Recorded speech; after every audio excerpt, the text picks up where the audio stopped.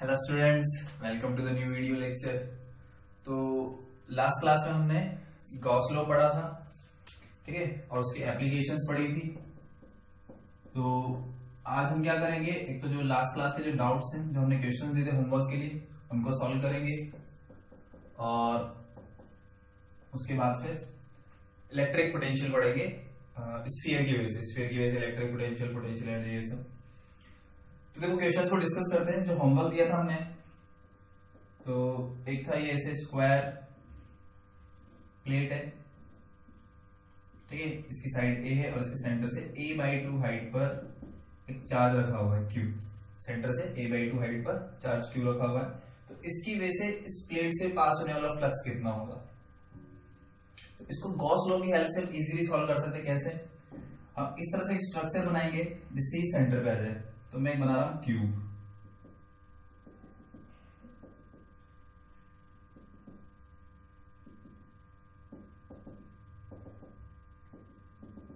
ठीक है? अभी क्यूब बन गया. इस क्यूब के सेंटर पे ये चार्ज है. क्यूब के सेंटर पे चार्ज है तो क्यूब से, पूरे क्यूब से कितना फ्लक्स पास होगा? क्यूब बाय एप्सिलॉन नॉट ये फ्लक्स का फॉर्मूला और गॉस लो पूरे क्यूब से कितना फ्लक्स पास होगा? Enclose charge divide by epsilon naught तो इस बॉटम वाले फ़ेज़ से किसी एक फ़ेज़ से कितना होगा divide by six epsilon naught total six faces होते हैं तो पूरे क्यूब से क्यूब बाय एप्सिलॉन नॉट है। तो एक फ़ेज़ से कितना जो cube by six epsilon naught तो इस प्लेट से कितना फ्लक्स पास होगा cube by six epsilon naught ऐसे सिंपली हम इस क्वेश्चन को सॉल्व कर सकते हैं। एक और क्वेश्चन दिया था हमने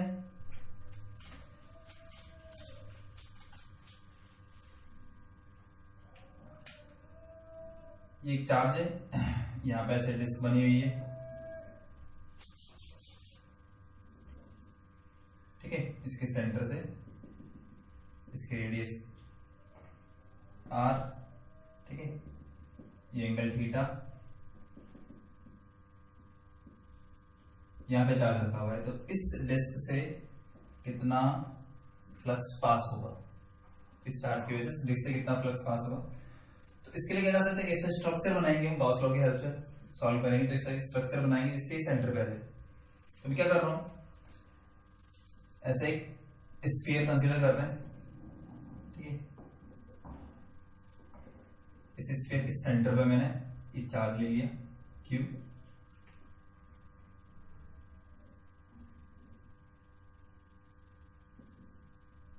और ये यहाँ पर ये ऐसे डिस्क मान लेते हैं। ये हो गई हमारी डिस्क इसका सेंटर इससे ये स्मॉल आर ये आर रेडियस इसकी रेडियस कैपिटल आर मान लो।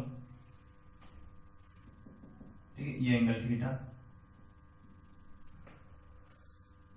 तो देखो, इस डिस्क से पास होने वाला फ्लक्स निकालना है। तो डिस्क से कितना फ्लक्स पास होगा? जितना इस स्फीयर के इस वाले पोर्शन से फ्लक्स पास होगा। देखो, यहाँ फ़ील्ड लाइंस आ रही है ऐसे। ऐसे फ़ील्ड लाइंस आ रही है। तो डिस्क से जो जो फ़ील्ड लाइन पास होगी, वो इस स्फीयर के इस बॉटम वाले फ़ेज़ से पास होगी। ठीक है, ऐसे इमेजिन कर सकते हो, एक तो जैसे कोई भी बॉल वगैरह ऐसे बना होता है।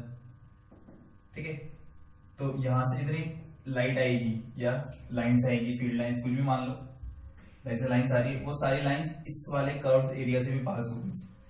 ऐसे क्या होगा? इस से जितनी फ़ील्ड लाइंस पास होगी, इस कर्व वाले एरिया से भी पास होगी। तो इस कर्व का एरिया निकाल लेते हैं, कितना आएगा। इसकी रेडियस आर कंसिडर करी ठीक है। पूरे का surface area four pi r square होता है।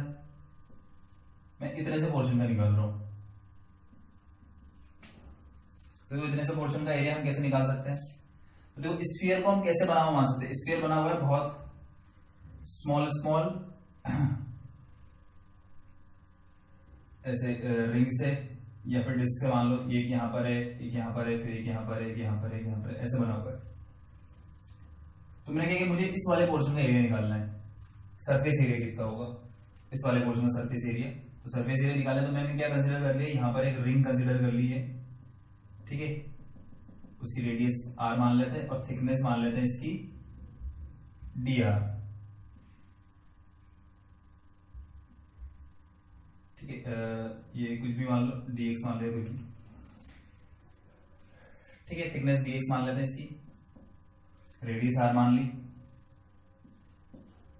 अब देखो ये यहाँ पर इसकी थिकनेस कितना ये थीटा ले, यहाँ से तो ये डी थीटा एंगल बनाएगी इस जगह पर। ये एंगल हो जाएगा डी थीटा हमारा। ठीक है? यहाँ से इस डायरेक्शन में इसकी थिकनेस डी मान ली और ये angle d theta radius r है।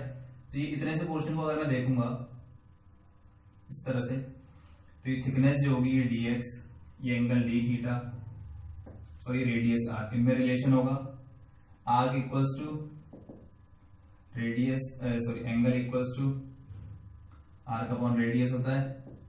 तो एक्स की वैल्यू में लिख सकता हूँ आर डी थीटा यहाँ पे जो थिकनेस होगी, उसको आर डी थीटा ले सकते हैं। और इस रिंग का एरिया तो रिंग का एरिया हम निकालते हैं टू पाई आर इसकी सरकमफेरेंस और उसको थिकनेस से मल्टीप्लाई कर देते हैं। तो टू पाई स्मॉल आर और कैपिटल आर में रिलेशन लिख सकते हैं यहाँ से, इस वाले ट्राइंगल से। देखो ये ट्राइंगल ऐसे। ये आर ये थीटा ठीक है, ये स्मॉल आर तो इन दोनों में रिलेशन क्या हो जाएगा? R equals to R sine theta ये वाला ट्राइंगल ठीक है तो स्मॉल आर की जगह आर साइन थीटा और डी की जगह आर डी थीटा तो ये ऐसे बन जाएगा एरिया रिंग का two pi R square sine theta D theta ठीक है आ गया हमारा एरिया आ गया किसका? इस रिंग का। अब इस वाले पोर्शन का सरफेस एरिया निकालना तो सरफेस एरिया में कंसिडर कर सकता हूँ, एक स्मॉलेस्ट रिंग होगी, इसकी रेडियस ज़ीरो और वहाँ से रेडियस बढ़ती जा रही बढ़ती जा रही बढ़ती जा रही है। ठीक है? और कितनी रेडियस तक आ रहा है? स्मॉल आर तक। इतना रेडियस या हम किसके रेस्पेक्ट में कर रहे हैं? एंगल के रेस्पेक्ट में यहाँ पर क्या करेंगे? इंटीग्रेशन करेंगे। तो इस वाले का जब मैं एरिया लिखूँगा पूरा, कितना एरिया आएगा इसका? तो इसको हम इंटीग्रेट कर देंगे। ठीक है जो स्मॉलेस्ट रिंग होगी यहाँ पर, वो ज़ीरो डिग्री एंगल बनाएगी। और कितने तक लेना है मुझे? थीटा तक लेना है। तो ज़ीरो से थीटा तक इसको इंटीग्रेट कर दूँगा। ठीक है लिमिट हमने थीटा की फॉर्म में क्यों लिखी? क्योंकि हम इंटीग्रेशन थीटा के रेस्पेक्ट कर रहे हैं। तो जो यहाँ पे छोटी सी रिंग जो बनेगी, वो ज़ीरो डिग्री एंगल बनाएगी और जो ये वाली रिंग है, ये थीटा एंगल बना रही तो ये पूरे का सरफेस एरिया आ जाएगा मेरे पास। इसको इंटीग्रेट कर दो। ये आता है तुम्हें। टू बाई आर स्क्वायर तो बाहर आ जाएगा। साइन थीटा का होता है minus cos theta limit root करेंगे ज़ीरो से थीटा तो फिर थीटा रखेंगे तो माइनस कॉस थीटा फिर ज़ीरो रखेंगे तो minus minus one minus minus plus हो जाएगा, और कॉस ज़ीरो वन तो ये वन माइनस कॉस थीटा तो ये एरिया आ जाएगा इसका। और चाहो तो तुम इस रिज़ल्ट को डायरेक्टली भी ध्यान रख सकते हो। ऐसा स्फीयर है, ठीक है? वो कोई कोन जो है, इस कोन शेप में, ये बाइसेक्टर जो है, ये थीटा एंगल बना रहा है। बाइसेक्टर थीटा एंगल बना रहा है तो ये जो पोर्शन है, ये वाला पोर्शन इस पोर्शन का एरिया स्फीयर के इस पोर्शन का area two pi R square one minus cos theta होता है। अब इसका एरिया निकल गया तो बहुत सिंपल है गया पूरा।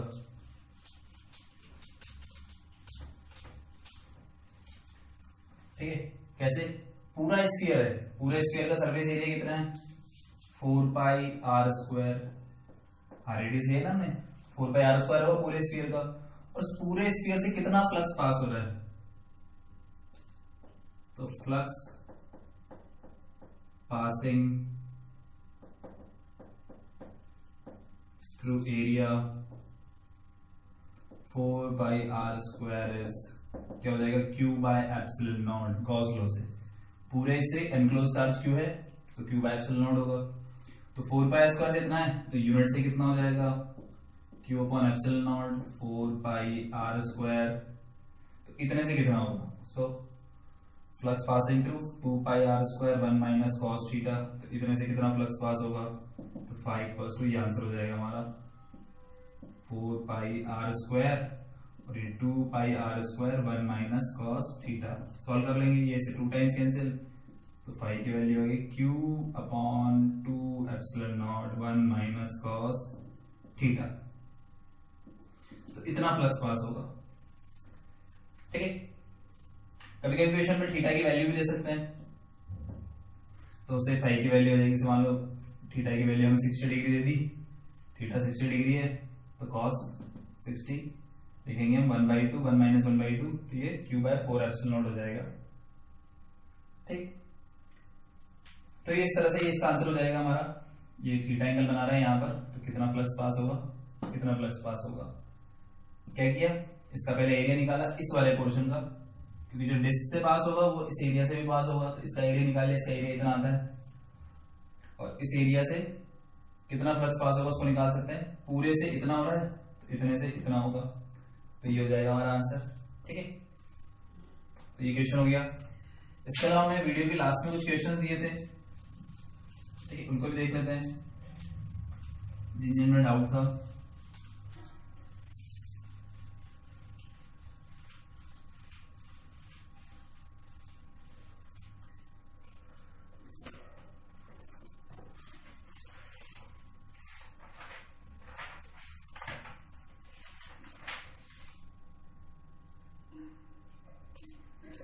A charge q is uniformly distributed over a large plastic plate the electric field at point p तो एक लार्ज प्लास्टिक प्लेट है उस पर चार्ज डिस्ट्रीब्यूटेड है।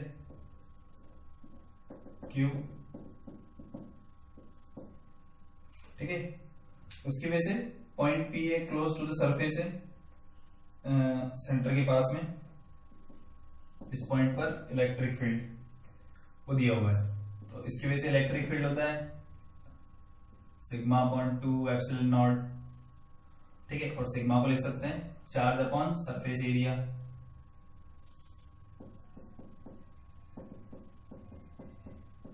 Q by A इसका पूरा सरफेस एरिया मान लो तो ये हो जाएगा। और इसका वैल्यू टेन दिया हुआ है हमें। फिर क्या है इसमें? अब प्लास्टिक प्लेट को रिप्लेस कर रहे हैं कॉपर प्लेट से। Same geometrical dimension and carrying a same charge Q तो पूरे पर सेम चार्ज है, पर ये क्या हो गया मेटेलिक प्लेट हो गई। तो मेटेलिक प्लेट में हम क्या करते हैं? उस पर सरफेस पे चार्ज आता है इधर भी पॉजिटिव होगा, इधर भी पॉजिटिव होगा। ठीक है? तो जो क्यू चार्ज है, ये इक्वली इक्वली डिवाइड हो जाएगा दोनों सरफेस को। जैसे ये प्लेट है ऐसे थिकनेस है टोटल पूरा प्लस क्यू चार्ज है तो इस वाली सरफेस पर भी क्यू बाई टू होगा और इधर भी Q by two charge distribute हो जाएगा। ये क्यू ऐसे Q by two Q by two में आ जाएगा। क्योंकि कंडक्टर के केस में चार्जेस ऐसे डिवाइड हो जाते हैं तो यहाँ पर सिग्मा की जो वैल्यू होगी सरफेस चार्ज डेंसिटी वो charge upon surface area Q by two A हो जाएगा। फिर हमने लिखा था कंडक्टिंग प्लेट की वजह से इलेक्ट्रिक फ़ील्ड इतना होता है? ठीक है सिग्मा अपॉन एप्सिल नॉट इसको सॉल्व करेंगे सिग्मा की वैल्यू कितनी आएगी? यहाँ पर Q by two A upon epsilon naught और ये पे जैसे ही दिखेगा। तो वैल्यू वापस क्या आ जाएगी? टेन वोल्ट पर मीटर ही आएगी। तो ये प्लास्टिक प्लेट को चार्ज दो, ठीक है? या फिर कंडक्टिंग प्लेट को सेम चार्ज दो। उसकी वजह से जो इलेक्ट्रिक फ़ील्ड आएगा पॉइंट पी पर वो सेम ही रहेगा, वो चेंज नहीं होगा। बस चार्ज डिस्ट्रीब्यूशन अलग हो जाएगा। इसकी चार्ज डेंसिटी अलग होगी, इसकी चार्ज डेंसिटी अलग होगी। इसकी चार्ज डेंसिटी यहाँ पर अगर निकालेंगे तो sigma equal to Q by A होगी सिंपल और यहाँ पे अलग हो जाएगी। इस वाली सरफेस पर क्यू बाई टू चार्ज आएगा, इधर वाले पर भी क्यू बाई टू चार्ज आएगा। ऐसे चार्ज डिवाइड हो जाएगा। तो जो चार्ज डेंसिटी आएगी वो ये आएगी। और इलेक्ट्रिक फ़ील्ड की वैल्यू वही आएगी। क्योंकि जो प्लास्टिक प्लेट है नॉन कंडक्टिव इसकी वजह से इलेक्ट्रिक फ़ील्ड ऐसे लिखेंगे हम। ठीक है? और जो कंडक्टिंग है, उसकी वजह से ये लिखेंगे। तो आंसर वही सेम ही आएगा। ठीक है वैसे मेटेलिक प्लेट है। मेटेलिक पार्टिकल है कोई चार्ज नहीं है। ठीक है? और एक पॉजिटिव चार्जेस मेटलिक प्लेट है। तो फोर्स की वो पता नहीं कितना फोर्स लगेगा। ठीक है इसमें चार्ज ही नहीं है। तो ये अनचार्ज है, ये चार्ज है। तो चार्ज क्या करता है? अनचार्ज को हमेशा अट्रैक्ट करता है। कैसे? क्योंकि उसके ऊपर चार्ज इंड्यूस हो जाएगा, इस साइड नेगेटिव इस साइड पॉजिटिव तो नेगेटिव वाला पास में होगा ज़्यादा पॉजिटिव वाला थोड़ा दूर होगा कंपेरेटिवली तो अट्रैक्शन ज़्यादा लगेगा रिपल्शन कम लगेगा। फाइनली अट्रैक्शन लगेगा और ये रिमूव करेगा। तो टू वर्ड द प्लेट इसका आंसर हो जाएगा। फिर उसके बाद थर्ड वाला है हमारा।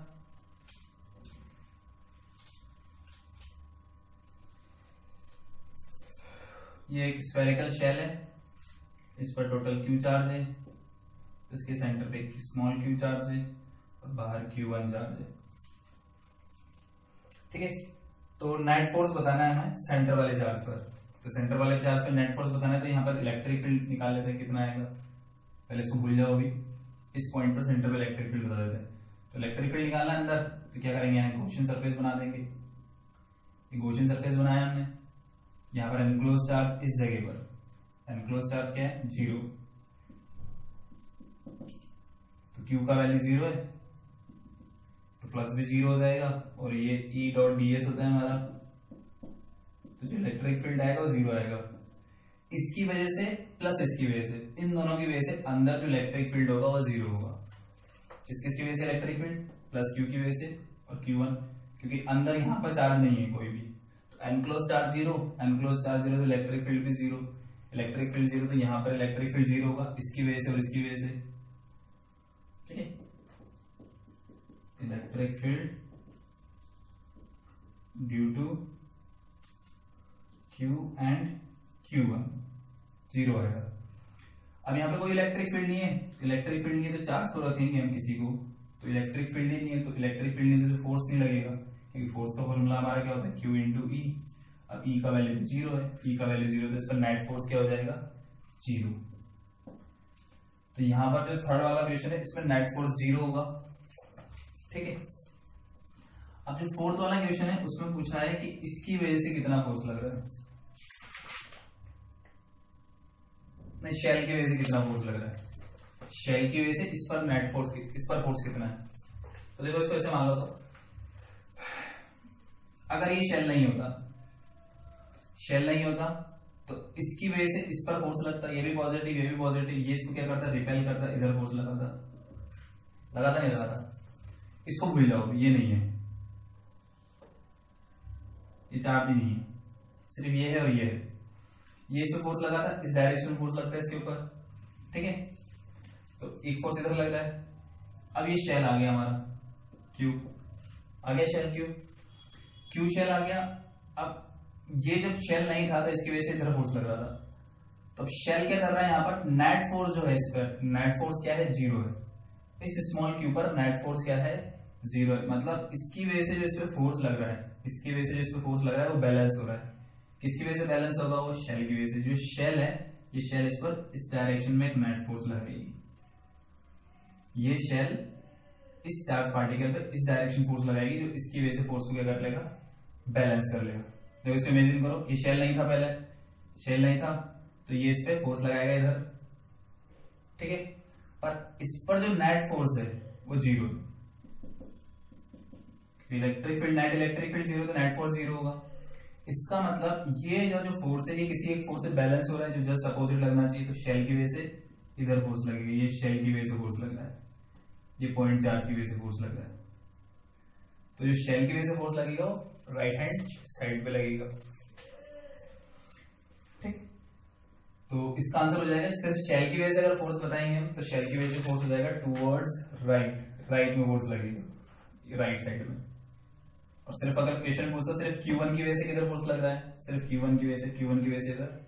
और नेट फोर्स निकालेंगे तो नेट इलेक्ट्रिक फ़ील्ड निकालेंगे अंदर तो नेट इलेक्ट्रिक फ़ील्ड ज़ीरो है। तो इस पर नेट फोर्स भी क्या होगा? ज़ीरो आ जाएगा। तो क्वेश्चन नंबर थर्ड और फोर्थ जाएँगे हमारे।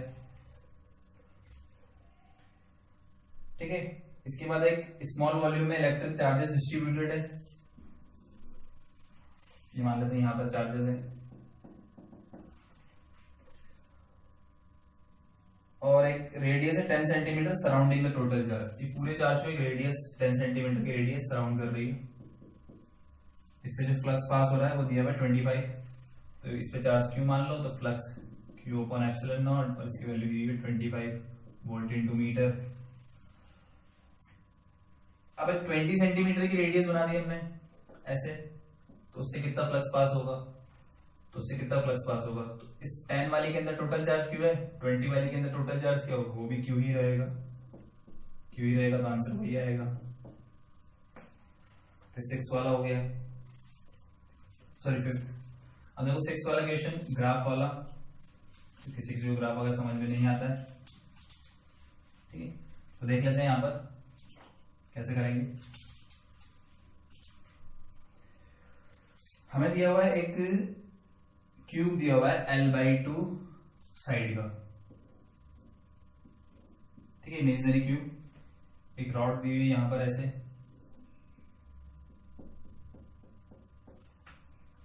इसकी लेंथ एल है, इसकी लेंथ एल बाई टू इसकी वेलोसिटी वी वेलोसिटी इधर जा रहा है और इस पर यूनिफॉर्मली चार्ज यूनिफॉर्मली तो इसकी पूरी लाइन पर यूनिफॉर्मली चार्ज डिस्ट्रीब्यूटेड है। अब ये यहाँ से इधर जाता है कब तक, जब तक ये पूरी रोड जो है बाहर नहीं निकल जाए इससे। ऐसे अंदर जाएगी, इससे पास होगी, फिर कंप्लीटली पूरी बाहर आ जाएगी। तब तक के लिए ग्राफ बताना है, इसका फ्लक्स का, ठीक है टाइम के साथ। इस क्यूब से जो फ्लक्स पास होगा, उसका टाइम के साथ।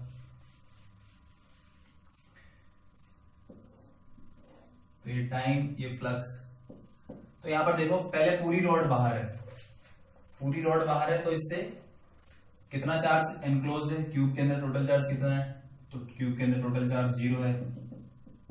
क्यू का value zero enclose charge Q zero तो फ्लक्स भी ज़ीरो तो स्टार्टिंग में फ्लक्स ज़ीरो होगा मतलब ग्राफ ज़ीरो से स्टार्ट होगा। ये पता चलिए ग्राफ ज़ीरो से स्टार्ट होगा?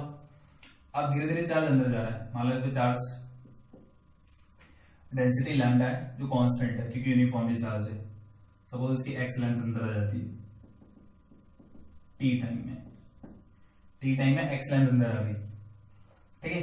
तो यूनिट लेंथ पे चार्ज कितना है? लैम्डा तो एक्स लेंथ पे चार्ज होएगा lambda into X epsilon naught तो फाइव की वैल्यू आ जाएगी।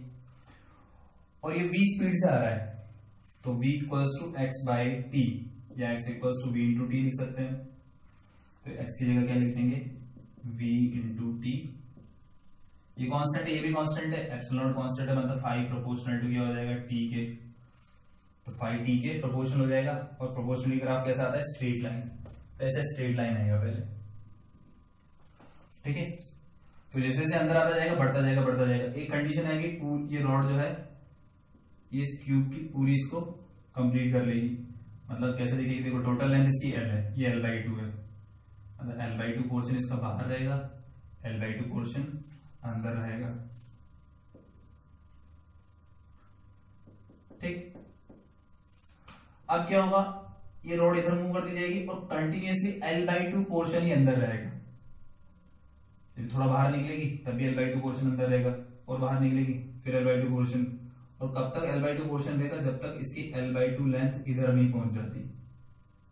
तब तक एल बाई टू पोर्शन अंदर ही रहेगा। अभी तक भी जो फ्लक्स है वो कांस्टेंट रहेगा। कितना रहेगा फ्लक्स एक्स की value L by two put कर देंगे। Lambda into L by two upon epsilon naught इतना फ्लक्स अभी भी इससे पास होगा तो। जैसे ये अंदर आई और अंदर आके बाहर निकली, तब तक फ्लक्स कांस्टेंट रहेगा। चेंज नहीं होगा, क्योंकि जो चार्ज है अंदर, वो कांस्टेंट है। ठीक है? फिर उसके बाद जब ये और इधर शिफ्ट होने लगेगी, अब इसकी रोड की लेंथ डिक्रीज होने लग जाएगी धीरे धीरे जितना इधर आएगा डिक्रीज होता जाएगा। फिर वापस सपोज़ एक्स लेंथ अंदर है तो यहाँ पर फाइव फिर वापस टी के प्रोपोर्शन होगा, पर फ्लक्स डिक्रीज होता जा रहा है। तो ये ऐसा आता जाएगा। तो पहले इंक्रीज होगा, फिर कांस्टेंट हो जाएगा, जब कंप्लीट के अंदर आ जाएगी ऐसे, पूरा क्यूब को कवर कर लेगी, और फिर डिक्रीज होगा, जब ये से बाहर निकलने लगेगी। इधर से कम होती जाएगी लेंथ ठीक? तो इस टाइप का ग्राफ आ जाएगा इसमें। जैसे ग्राफ दिया हुआ डी वाला तो करेक्ट आंसर हो जाएगा। फिर एक चार्ज है क्यू एक ओपन एंड सिलेंड्रिकल वेसल का, उसके सेंटर पर रखा हुआ है। कितना फ्लक्स पास होगा, उसको भी कर सकते हैं सिंपली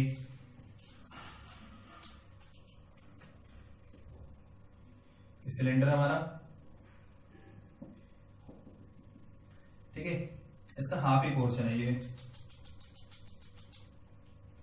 ये वाला नहीं है, इतना ही पोर्शन है, और उसके सेंटर पे क्यू चार्ज रखा हुआ है? तो हमसे अगर पूछता, पूरे सिलेंडर से कितना फ्लक्स पास हो रहा है तो पूरे सिलेंडर से हम बोल देते, पूरे सिलेंडर से इतना फ्लक्स पास हो रहा है। Q by epsilon naught complete cylinder से। आधे से कितना होगा बस। तो हमें ये दिया हुआ है कि हाफ़ पोर्शन है इसके सेंटर पे चार्ज रखा हुआ है। तो फ्लक्स कितना पास होगा? Q by two epsilon naught जाएगा तो सिंपल ये हो गया इक्वेशन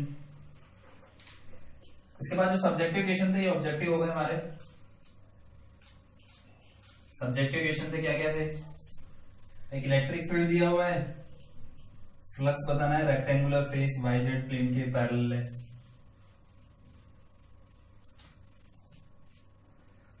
तो देखो ये एक्स एक्सिस हो गई, ये वाई एक्सिस हो गई और इधर हो गया जेड तो वाई जेड प्लेन बनाएँगे तो ये जेड इधर होता है एक्चुअल में.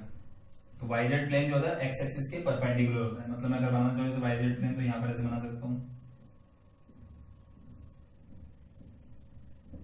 ये वाईजेड प्लेन बन गया.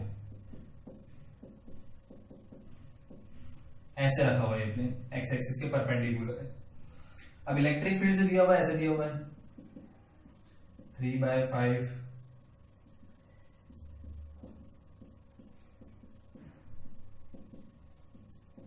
electric field है हमारे एक्स और वाई प्लेन में।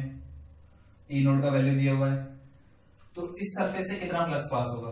तो देखो, इसका सर ये ऐसे रखा हुआ है वाई जेड प्लेन तो इसका जो एरिया वेक्टर होता है, वो एरिया वेक्टर प्लेन के परपेंडिकुलर होता है। तो ये प्लेन के परपेंडिकुलर मतलब एरिया वेक्टर एक्स एक्सिस के अलोंग होगा। तो अगर इसका एरिया वेक्टर लिखना चाहूँ मैं तो एरिया वेक्टर साइड दी है इसकी सॉरी ज़ीरो पॉइंट टू दिया हुआ है तो zero point two I cap metre square हो जाएगा एरिया वेक्टर तो इलेक्ट्रिक फ़ील्ड वो एरिया वेक्टर तो फ्लक्स ई डॉट ए दोनों का डॉट प्रोडक्ट कर दो इसका इसका तो आई के बाई के मल्टीप्लाई होता है तो ये जाएगा three by five E naught का वैल्यू है हमारे पास two into ten rest power three और ये ज़ीरो पॉइंट टू ठीक है तो ये हो जाएगा ज़ीरो पॉइंट फोर और one point two by five ten plus two power three तो ये टू फोर्टी आ जाएगा हमारा वोल्ट इंटू मीटर या newton metre square per coulomb ऐसे लिख सकते हैं। तो ये सिंपल सा क्वेश्चन एरिया वेक्टर जो होता है वो सरफेस के परपेंडिकुलर होता है। तो वाइजेड प्लेन के परपेंडिकुलर होता है एक्स एक्सिस तो एरिया वेक्टर की डायरेक्शन एक्स एक्सिस के अलोंग इलेक्ट्रिक फ़ील्ड ये यूनिफॉर्म है ना? चेंज नहीं हो रहा तो मैं डायरेक्टली ऐसे फ्लक्स निकाल सकता हूँ यूनिफॉर्म के केस में। E vector dot A vector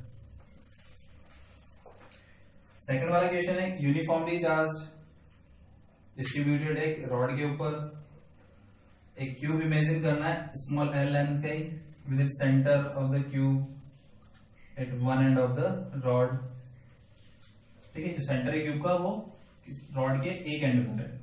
तो पहले क्यूब बना लेते हैं। तो क्यूब का एक फेस ही बना रहे हैं फ्रंट वाला।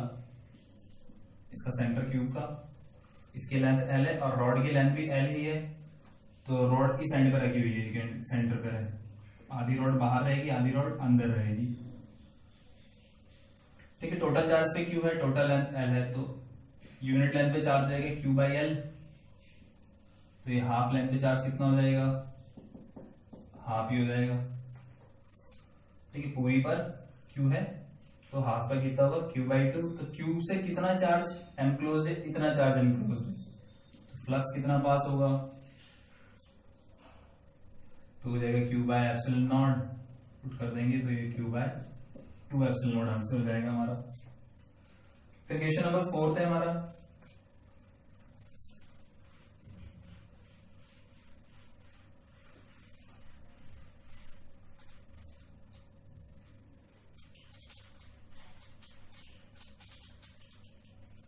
इसमें दिया हुआ है, एक क्यूबिकल वॉल्यूम है bounded by the cubical volume बना लेते हैं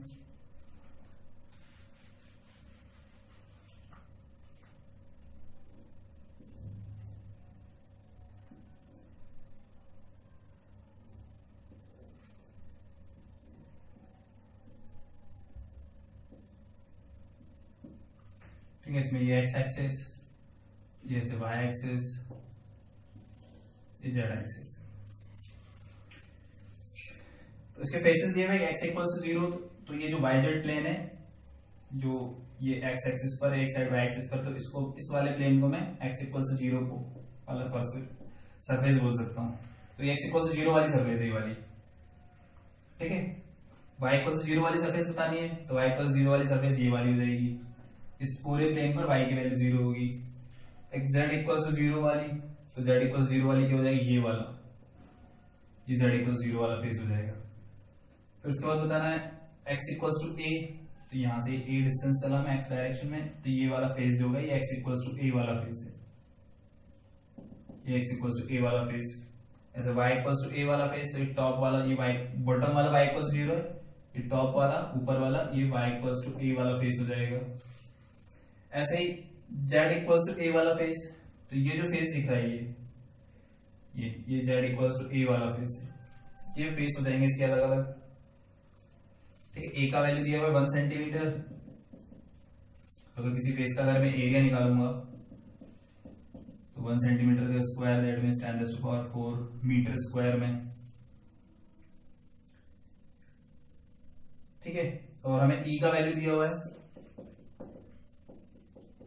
Naught x by l i cap के डायरेक्शन मतलब इस डायरेक्शन में एक्स एक्सिस की तरफ़ इलेक्ट्रिक फ़ील्ड तो फ्लक्स कितना पास होगा? चार्ज बताना है तो पहले फ्लक्स निकाल लेते हैं चार्ज निकालेंगे तो फ्लक्स कैसे निकालेंगे? ऐसे जा रहा है इलेक्ट्रिक फ़ील्ड तो वो दो सरफेसेस ढूंढो, जो इस इलेक्ट्रिक फ़ील्ड के क्या हो? परपेंडिकुलर हो। सरफेस परपेंडिकुलर हो। तो देखो, ये वाली सरफेस अगर देखेंगे तो ये पैरेलल आ रही है। टॉप वाली भी पैरेलल आएगी, ये फ्रंट वाली भी पैरेलल आएगी, और बैक वाली भी पैरेलल आएगी। पर ये जो x इक्वल्स टू ज़ीरो वाली सरफेस है, और x इक्वल्स टू ए वाली सरफेस है इसमें परपेंडिकुलर पास होगा इलेक्ट्रिक फ़ील्ड ये जो इलेक्ट्रिक फ़ील्ड है, वो इन दोनों सरफेसेस की क्या होगा? परपेंडिकुलर पास पास होगा। क्यों? क्योंकि ये दोनों वाईजेड प्लेन ये भी वाईजेड प्लेन है और ये भी वाईजेड प्लेन है। और वाईजेड प्लेन एक्स एक्सिस के परपेंडिकुलर होते हैं। तो मुझे सिर्फ़ कहाँ से फ्लक्स निकालना है? इससे और इससे निकालना है। तो देखो जैसे फ़ील्ड ये है, इस डायरेक्शन फ़ील्ड है। तो इस वाले से तो एंटर करेगा। ठीक है? तो एंटर जहाँ से करता है, वहाँ पर नेगेटिव लेंगे। तो यहाँ से जो फ्लक्स जाएगा, वो फाइव इन उसको हम नेगेटिव लेंगे। और यहाँ से बाहर निकलेगा, वो हो जाएगा फाइव आउट उसको पॉजिटिव लेंगे। अंदर जाने वाले को नेगेटिव लेते हैं, बाहर आने वाले को पॉजिटिव लेते हैं। तो पहले फाइव इन की वैल्यू निकालते हैं, इससे कितना फ्लक्स पास हो रहा है? तो पहले यहाँ पे इलेक्ट्रिक फ़ील्ड निकाल लो। तो एक्स इक्वल ज़ीरो पे इलेक्ट्रिक फ़ील्ड एक्स की वैल्यू ज़ीरो पुट कर दो।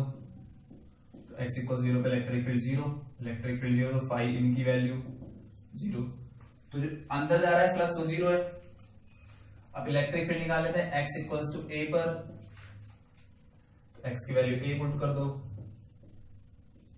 इनकी वैल्यूज़ पुट कर देते ई नॉट की वैल्यू है हमारे पास five into ten raised power three a का वैल्यू वन सेंटीमीटर और ये टू सेंटीमीटर तो ये आ जाएगा हमारा two point five ten raised to power three newton पर कुलम इलेक्ट्रिक फ़ील्ड इस वाले पर। ठीक है? अब एरिया वेक्टर और इलेक्ट्रिक फ़ील्ड दोनों सेम डायरेक्शन में तो फ्लक्स कितना हो जाएगा? जो बाहर निकल रहा सिंपल ई इंटू ए कर देंगे। थ्री और ये सॉरी प्लस थ्री और माइनस फोर तो ये आ गया हमारा zero point two five newton metre square upon coulomb तो इतना फ्लक्स बाहर निकल रहा है। तो नेट फ्लक्स क्या हो जाएगा? अंदर आ रहा है ज़ीरो बाहर इतना निकल रहा है मतलब बाहर ही निकल रहा है, जो भी निकल रहा है। तो जो नेट फ्लक्स होगा टोटल फ्लक्स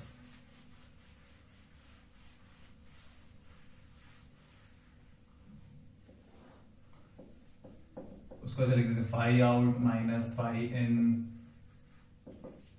ठीक है? क्योंकि उसको नेगेटिव लेंगे इन वाले को तो ज़ीरो है तो यही आ जाएगा ज़ीरो पॉइंट टू फाइव और ये किसके इक्वल है? Q in upon epsilon naught हमें क्यू इन की वैल्यू निकालनी है।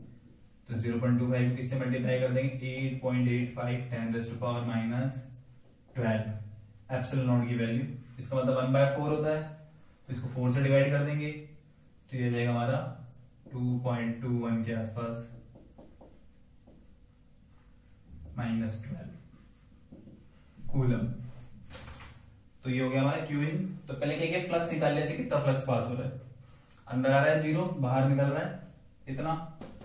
तो नेट फ्लक्स भी इतना ही होगा। और net flux q in upon epsilon naught होता है। एप्सिलॉन नोट को मल्टीप्लाई कर देंगे फाइव से तो क्यू इन की वैल्यू मिल जाएगी। हमें तो क्वेश्चन नंबर हमारा फोर्थ हो गया।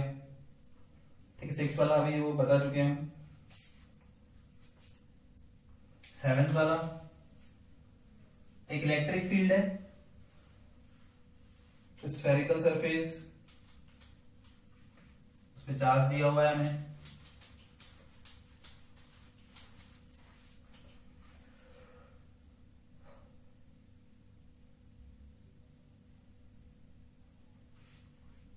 तो ये से डायग्राम बना हुआ है। या रेडियस और ये डिस्टेंस टू आर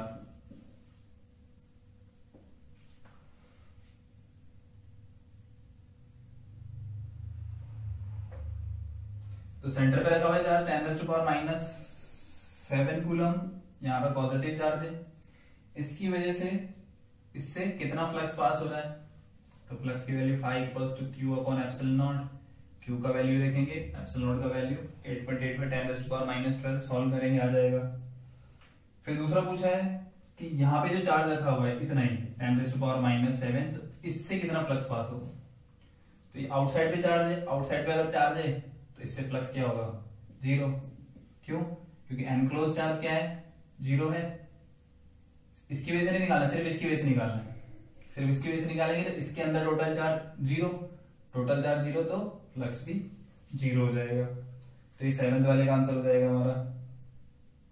एट वाला तो एट वाले को कर सकते हो जो से हमने सिलेंडर वाला किया था, वैसे स्फीयर वाला भी कर सकते हैं। नाइन वाला एक स्फेरिकल वॉल्यूम में चार्ज डेंसिटी दी हुई है इलेक्ट्रिक फ़ील्ड बताना है। अंदर कितना इलेक्ट्रिक फ़ील्ड होगा? तो इलेक्ट्रिक फ़ील्ड निकाला था हमने यूनिफॉर्मली चार्ज स्फीयर पूरे वॉल्यूम में चार्ज है उसमें। तो उसकी वजह से इनसाइड पर आर डिस्टेंस पर इलेक्ट्रिक फ़ील्ड सेंटर से पूरे के अंदर चार्ज है। ठीक है चार्ज डेंसिटी रो है। तो हमने इलेक्ट्रिक फ़ील्ड लिखा था rho r upon three epsilon naught पूरे वॉल्यूम में चार्ज है यूनिफॉर्मली डिस्ट्रीब्यूटेड है आर डिस्टेंस पर ये आ जाएगा। इक्वल्स टू रो का वैल्यू है हमारे पास two into ten to power minus four r का value four into ten to power minus two और एप्सिलॉन नॉट इसको सॉल्व करेंगे आंसर आ जाएगा। तो ये नाइन्थ नंबर का क्वेश्चन हो गया। इसके बाद हमने दिया था फोर्टीन फिफ्टीन सिक्सटीन उनको भी कर सकते हैं सॉल्व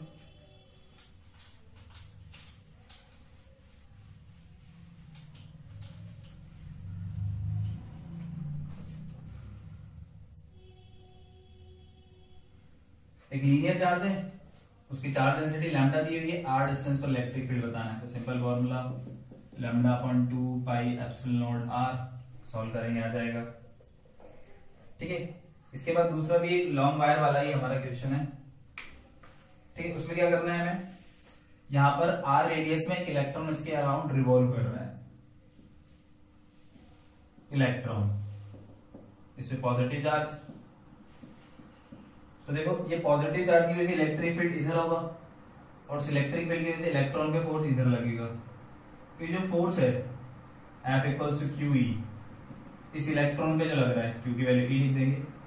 तो ये जो फोर्स है ई इंटू ई इलेक्ट्रॉन पे जो लग रहा है, ये क्या करेगा इसको? सेंट्रीपिटल फोर्स प्रोवाइड करेगा। सेंट्रीपिटल फोर्स होता है हमारा m v square by r e और लीनियर चार्ज की वजह से इलेक्ट्रिक फ़ील्ड क्या होता है? Lambda upon two pi epsilon naught r ये m v square by r के इक्वल होगा। आर और आर कैंसिल तो एम बी स्क्वायर की value e lambda upon two pi epsilon naught फिर हमें क्या निकालना है? हमें निकालना था इसमें काइनेटिक एनर्जी ऑफ़ इलेक्ट्रॉन तो इलेक्ट्रॉन की काइनेटिक एनर्जी बतानी थी। तो काइनेटिक एनर्जी का फॉर्मूला क्या होता है? हाफ़ एम वी स्क्वायर अब एम वी स्क्वायर की वैल्यू तो है हमारे पास। हाफ़ और लगा देंगे इसमें। तो देखो one upon four by epsilon naught और one upon four by epsilon naught की वैल्यू कितनी होती है nine into ten to power nine electron पे चार्ज और लैम्डा भी दिया हुआ है क्वेश्चन के अंदर। Two into ten to power minus eight तो इससे काइनेटिक एनर्जी आ जाएगी सॉल्व करने पे ठीक है क्वेश्चन नंबर फिफ्टीन और इसके बाद सिक्सटीन क्वेश्चन नंबर है। एक लॉन्ग सिलेंड्रिकल वॉल्यूम में यूनिफॉर्मली चार्ज डेंसिटी दी हुई है।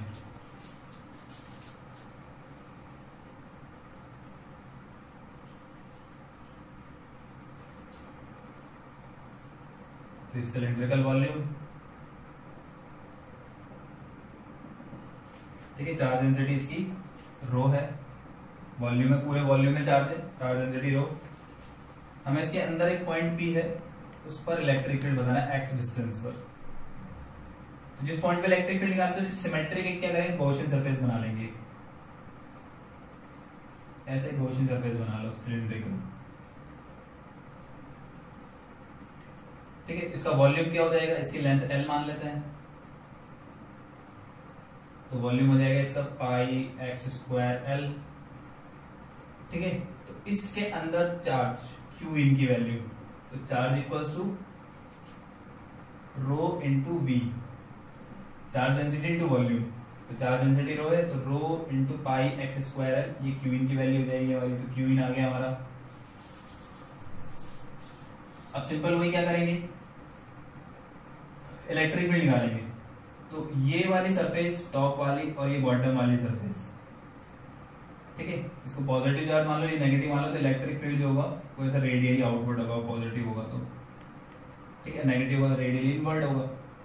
तो इस सरफेस पे इलेक्ट्रिक फ़ील्ड इधर एरिया वेक्टर इधर परपेंडिकुलर मतलब यहाँ से फ्लक्स ज़ीरो पास होगा। ऐसे यहाँ से फ्लक्स निकालेंगे, वो भी ज़ीरो होगा। फ्लक्स किससे पास होगा सिर्फ़? इस कर्व सरफेस से। तो कर्व सरफेस से कितना फ्लक्स पास होगा? E dot d x q in upon epsilon naught इन दोनों से तो ज़ीरो। कर्व से कितना होगा? तो ये यूनिफॉर्मली डिस्ट्रीब्यूटेड है चार्ज यूनिफॉर्मली डिस्ट्रीब्यूटेड है और कर्व जो है ये बनाया जो हमने सरफेस ये सारे पॉइंट्स एक्स डिस्टेंस पर होंगे तो इलेक्ट्रिक फ़ील्ड यूनिफॉर्म होगा, बाहर आ जाएगा। तो कर्व सरफेस का surface area two pi x into l x radius है two pi x into l q in की value rho into pi x square l on epsilon naught कुछ cancel हो रहा है। पाई से पाई कैंसिल हो जाएगा एल से एल कैंसिल और एक एक्स कैंसिल हो जाएगा टू अपॉन में चला जाएगा। तो ये rho x upon two epsilon naught क्या किया? मुझे इस पॉइंट पे निकालना था। तो सिमेट्रिक ये जो वॉल्यूम है, इसके सिमेट्रिक एक गोशन सरफेस बनाई इस सिलेंडर है तो गोशन सरफेस भी सिलेंड्रिकली बनेगी। तो सिलेंड्रिकल गोशन सरफेस बना ली हमने। ठीक है? एक्स रेडियस एल तो इसके एनक्लोज चार्ज कितना होगा? तो यूनिट वॉल्यूम पे चार्ज है क्यू तो इतने वॉल्यूम में कितना चार्ज हो जाएगा? तो रो इंटू ये यूनिट वॉल्यूम पे चार्ज रो है। ठीक है? इतने वॉल्यूम में चार्ज ये चार्ज आ गया टोटल एनक्लोज चार्ज मिल गया।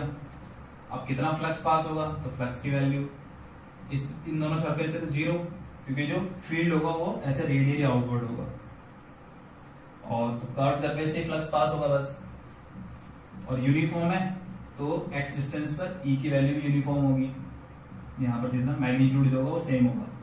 ई बाहर आ जाएगा, इसका surface area curve surface area two pi r l होता है। तो टू पाई एक्स जगह आर की जगह एक्स एल सिंप्लीफाई कर लेंगे, ये ई की वैल्यू हो जाएगी। तो ये वाला क्वेश्चन भी इस तरह से सॉल्व हो जाएगा। तो ये होमवर्क वाले क्वेश्चन हो गए हमारे। ठीक इसके अलावा हम और भी देखो, ऐसे प्लेट वाले क्वेश्चन देख सकते हैं। जैसे मान लो, कोई प्लेट है कंडक्टिंग प्लेट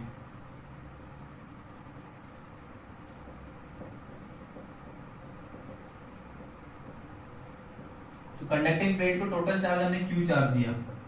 कितना चार्ज दिया? प्लस क्यू चार्ज तो इसकी इस वाली सरफेस पर और इस वाली सरफेस पे चार्ज जो है वो इक्वली इक्वली डिवाइड होगा।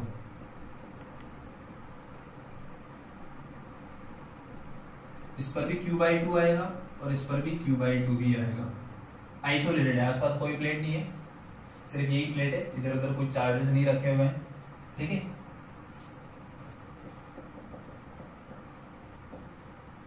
तो ये q by two q by two इसको चाहो तो तुम प्रूव भी कर सकते हो। कैसे करेंगे प्रूव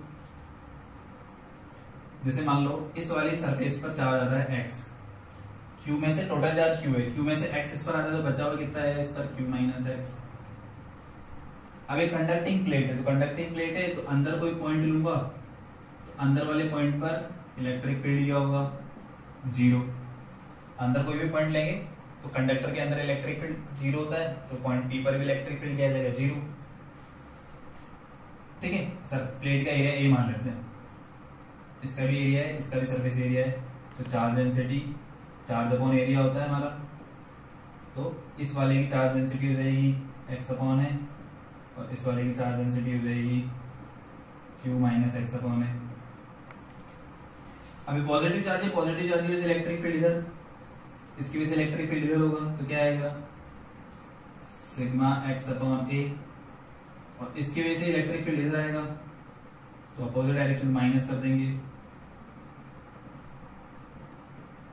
जब डिवाइड बाई टू भी आएगा equal zero epsilon naught sigma upon two naught इसकी वजह से सिग्मा अपॉन टू नॉट और इसकी वजह से सिग्मा अब सिग्मा एक्स की वैल्यू ये लिख देंगे. X upon two a naught और ये q minus x upon two a naught ये कॉमन आ जाएगा तो ज़ीरो की तरफ़ चल जाएगा. यहाँ क्या बचेगा? X minus q minus minus plus x x की वैल्यू हो जाएगी क्यू बाय टू एक्स और एक्स टू एक्स क्यू इधर जाएगा? तो आइसोलेटेड है तो इधर भी एक्स की वैल्यू क्यू बाई टू यहाँ क्यू बाई टू लिखूँगा तो ये भी क्यू बाई टू तो इक्वल इक्वली चार्ज डिवाइड होता है। कोई भी प्लेट है, उसके आसपास कोई चार्ज नहीं है तो इधर भी क्यू बाई टू इधर भी क्यू बाई टू आएगा। इसको हम गॉस लॉ से या इस वाले तरीके से प्रूव कर सकते हैं। ठीक? अब देखो दूसरा इसी में प्लेट वाले में।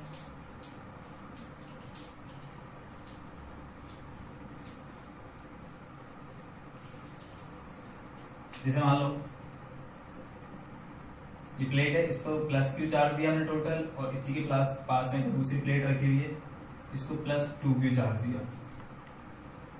ठीक है? फिर तुमसे पूछा कि इनकी जो ये वाली सरफेस है, इसकी इस सरफेस पे कितना चार्ज आएगा, इसकी इस वाली सरफेस पे कितना चार्ज आएगा, इसकी इस वाली सरफेस पे कितना चार्ज आएगा, इसकी इस वाली सरफेस पे कितना चार्ज आएगा। तो उसको भी फाइंड कर सकते हैं। कैसे? भाई इस वाले पेज पर मान लो क्यू है तो इधर क्या आएगा? क्यू माइनस एक्स इस पर एक्स तो इस पर क्यू माइनस एक्स आएगा। आप एक पॉइंट यहाँ पर ले लेते हैं। फिर इस पॉइंट पे इलेक्ट्रिक फ़ील्ड क्या होगा? ज़ीरो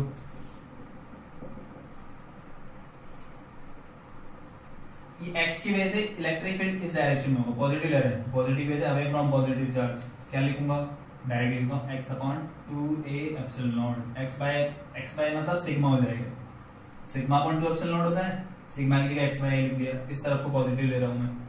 तो क्यू माइनस एक्स की वजह से इधर नेगेटिव आएगा।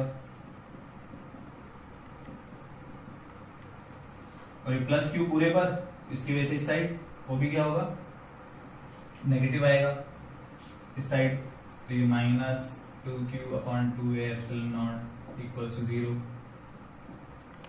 तो टू एक्स नॉट तरह आगे ज़ीरो हो तो यहाँ बचेगा x minus q minus minus plus x minus two q equal zero तो two x equal to three q x की वैल्यू हो जाएगी हमारी थ्री क्यू बाई टू मतलब इस वाली सरफेस पे जो चार्ज आएगा वो आएगा थ्री क्यू बाई टू तो देखो, इधर वाली सरफेस पर three q by two total q है क्यू में से थ्री क्यू बाई टू इस पे आया। तो एक्स की value three q by two रखो तो q minus three q by two मतलब इस वाली पर नेगेटिव में चार्ज आएगा। माइनस क्यू बाई टू इस पर थ्री क्यू बाई टू इस पर माइनस क्यू बाई टू इस पर माइनस क्यू बाई टू आएगा तो इस वाली सरफेस पर हमेशा इसका जस्ट अपोजिट चार्ज आएगा सेम मैग्नीट्यूड में। मतलब इस पर प्लस क्यू बाई टू आएगा। ठीक है? इसमें माइनस क्यू बाई टू आएगा तो इस पे प्लस क्यू बाई टू आएगा। और टोटल कितना था? टू क्यू था। टू क्यू में से क्यू बाई टू इस पर आया तो इस पर थ्री क्यू बाई टू आएगा। इसको चाहे तो हम गॉस लॉ से प्रूव कर सकते हैं कि इस पे माइनस क्यू बाई टू पे plus q by two q ठीक है, इस पे charge plus three q by two है, इस पे माइनस क्यू बाई टू है। ठीक है, हमें इस पर चार्ज बताना है कि ये वाला जो है, इसका जस्ट अपोजिट आएगा तो इस पे क्यू वन मान लिया, इस पे two q minus q one मान लिया। अब एक पॉइंट लेते हैं यहाँ पर, इस जगह पर। ठीक है, ये पॉइंट ले लिया। अब इसकी वजह से इस पॉइंट पर इलेक्ट्रिक फ़ील्ड जो होगा ज़ीरो होगा। इसको पी मान लेते हैं पॉइंट को। पी पी की वैल्यू ज़ीरो अब इलेक्ट्रिक फ़ील्ड निकालते हैं।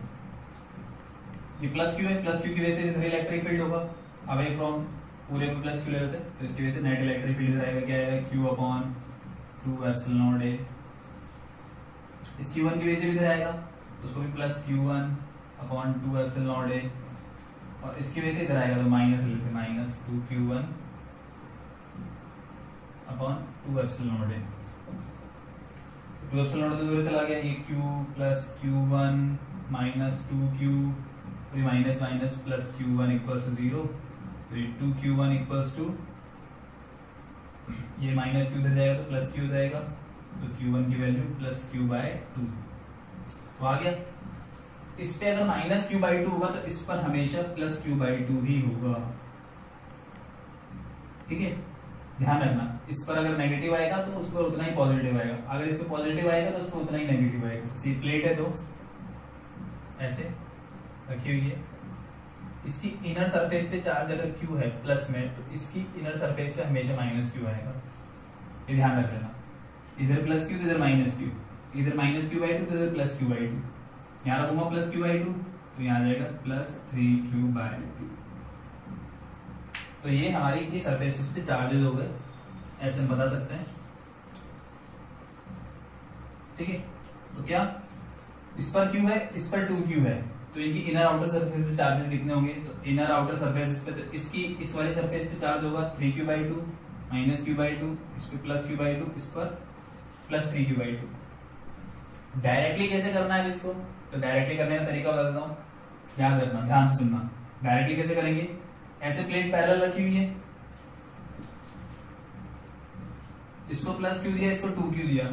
तो इसकी आउटर सरफेस और इसकी आउटर सरफेस पे सेम चार्ज होगा। कितना होगा? दोनों चार्जेस को ऐड करो और टू से डिवाइड कर दो। तो ये थ्री क्यू बाई टू तो इसकी आउटर सरफेस भी थ्री क्यू बाई टू और इसकी आउटर सरफेस भी थ्री क्यू बाई टू आएगा। अब बैलेंस कर दो चार्जेस को। कैसे?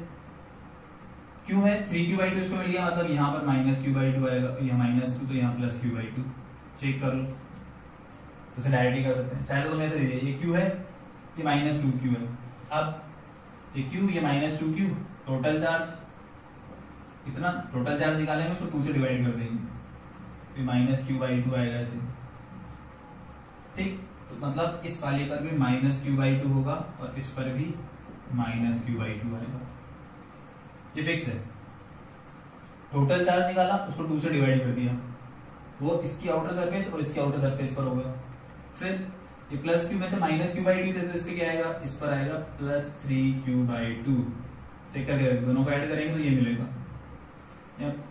Plus three q by two यहाँ minus three q by two check करके देखो दोनों को ऐड करोगे तो ये मिलेगा। इसके अलावा मान लो, दो की जगह मान लो तीन आ गई।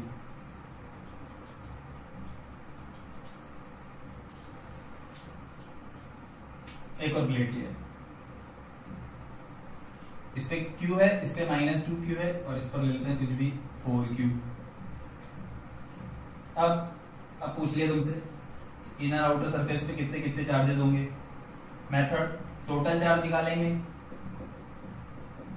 और उसको टू से डिवाइड कर देंगे। तो हो जाएगा five minus two three q by two तो इसकी आउटर सरफेस पर भी थ्री क्यू बाई टू होगा।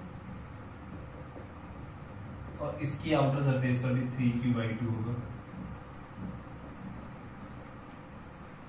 अब क्यू है टोटल उसमें थ्री क्यू बाई टू इसको मिला तो इसको क्या मिलेगा माइनस क्यू बाई टू इधर माइनस क्यू बाई टू तो plus q by two minus two q में से इसको कितना मिल रहा है प्लस क्यू बाई टू मिल रहा है तो इस वाले पे कितना आ जाएगा तो इसमें minus q by two add कर देंगे हम तो minus two q minus two q by two तो ये हो जाएगा minus five q by two इस पे minus five q by two तो इस पे plus five q by two check करके देख लो, इन दोनों को ऐड करेंगे तो फोर क्यू मिलेगा, इन दोनों को ऐड करेंगे तो ये मिलेगा, इन दोनों को ऐड करेंगे, ये मिलेगा।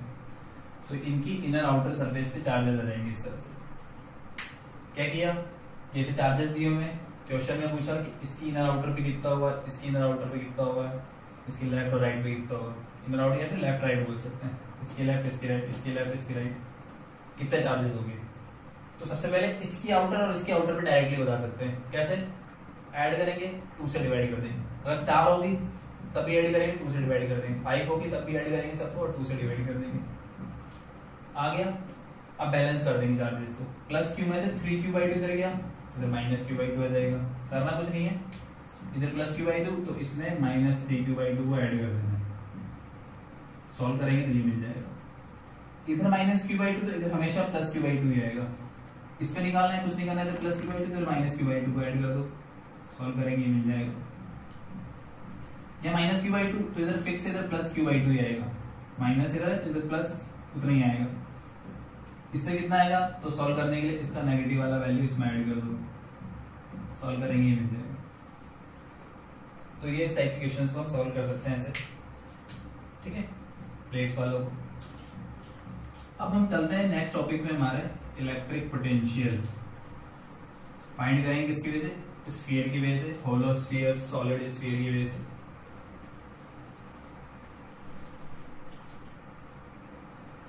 तो देखो यहाँ पे लिख देते हैं।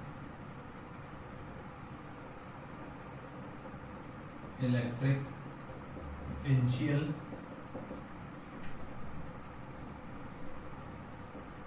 due to hollow sphere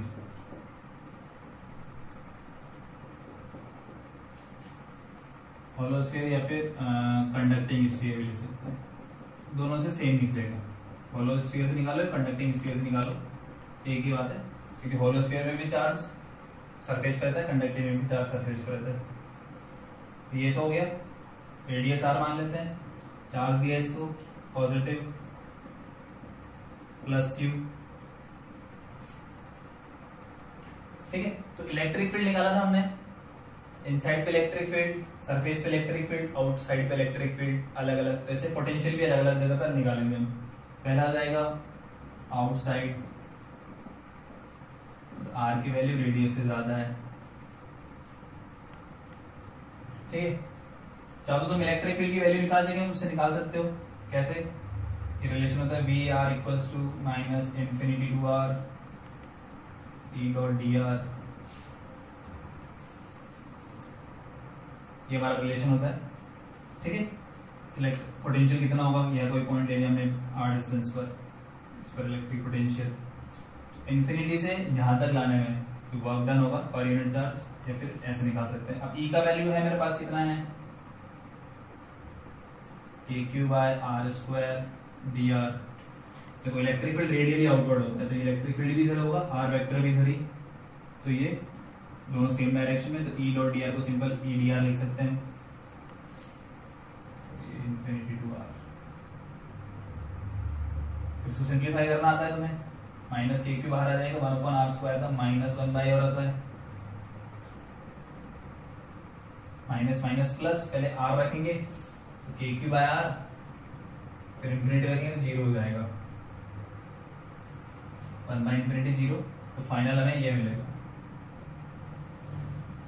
इसको डायरेक्टली कैसे कर सकते हैं? ये चार्ज पूरा सिमेट्रिक है। तो इस पूरे चार्ज को हम मान सकते हैं कि यहाँ पर कंसेंट्रेटेड है, पूरा का पूरा। इस पूरे चार्ज को क्या मान सकते हैं कि यहाँ पे कंसेंट्रेटेड है? और इससे कितना डिस्टेंस पर है? आर डिस्टेंस पर। तो पॉइंट चार्ज से आर डिस्टेंस पर इलेक्ट्रिक फ़ील्ड के क्यू आया। या फिर ऐसे भी निकाल सकते ठीक है तो ये आ गया हमारा। ये तो आउटसाइड पे आ गया। K q by r surface पर आर की वैल्यू कैपिटल आर के इक्वल लिख दो।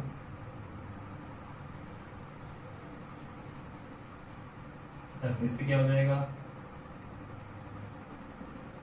K q by r capital q लिया है ना हमने चार्ज तो कैपिटल क्यू लो यहाँ पर।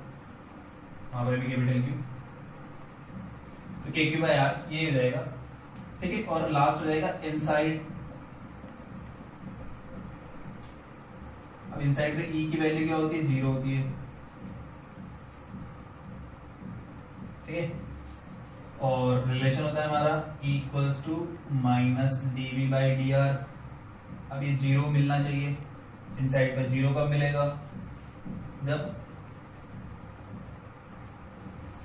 d v d v zero होगा। डीवी ज़ीरो मतलब change in potential zero change in potential zero मतलब वी की वैल्यू क्या होगी?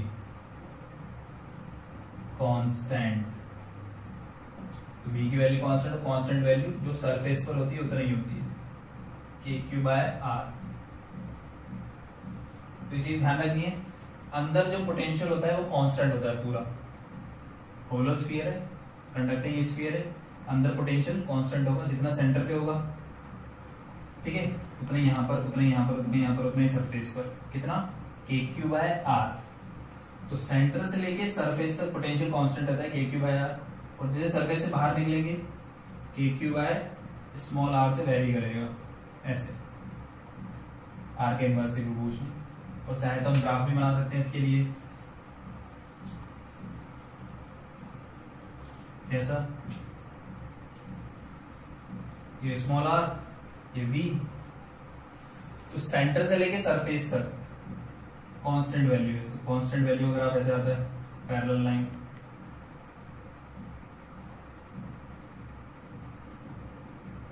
इतना के क्यू बाय आर फिर जैसे सरफेस से आगे बाहर निकले बाहर निकले तो फिर वो आर के inversely proportional inversely proportional graph ऐसे आ जाएगा। पहले ऐसे, फिर ऐसे आ जाएगा। तो ये पोटेंशियल ग्राफ बन जाएगा। हमारा ठीक है? होलोस्फीयर और कंडक्टिंग स्फीयर की वजह से।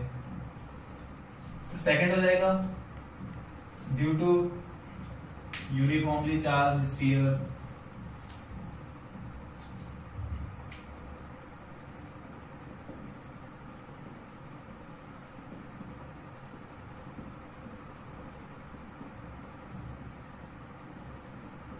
uniformly charge है मतलब पूरे वॉल्यूम में यूनिफॉर्मली चार्ज डिस्ट्रीब्यूटेड है, पूरे वॉल्यूम के अंदर।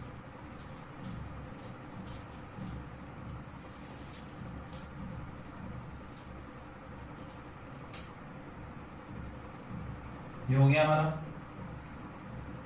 आर रेडियस पूरे वॉल्यूम में चार्ज है ना सरफेस पर, सब जगह चार्ज है। यूनिफॉर्मली डिस्ट्रीब्यूटेड है। टोटल क्यू फिर इसमें भी तीन पोजीशन हो जाएगी आउटसाइड तो देखो आउटसाइड पे इलेक्ट्रिक फ़ील्ड वही k q by r square तो पोटेंशियल भी उतना ही आएगा।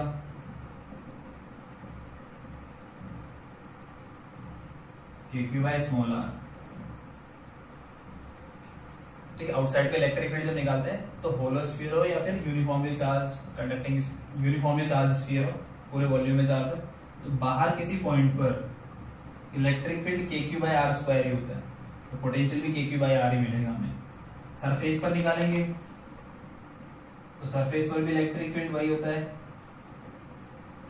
होलो स्फीयर के केस में भी और यूनिफॉर्मली चार्ज स्फीयर के केस में भी। तो सरफेस पर के क्यू बाई आर मिलेगा। ठीक है?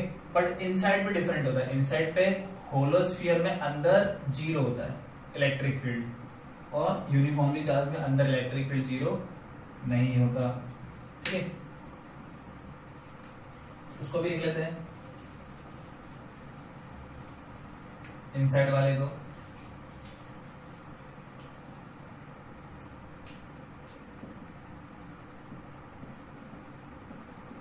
आर लेस देन आर तो इनसाइड में पॉइंट भी जो है, अंदर आ गया।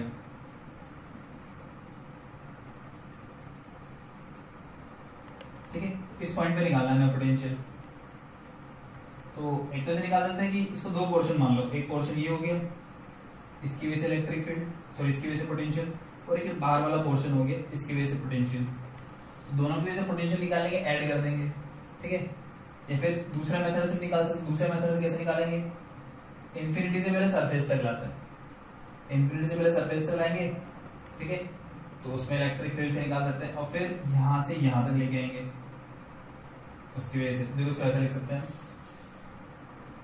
बी आर जो होगा, एक तो इलेक्ट्रिक फ़ील्ड कहाँ से? इंफिनिटी से आर तक ला रहा है।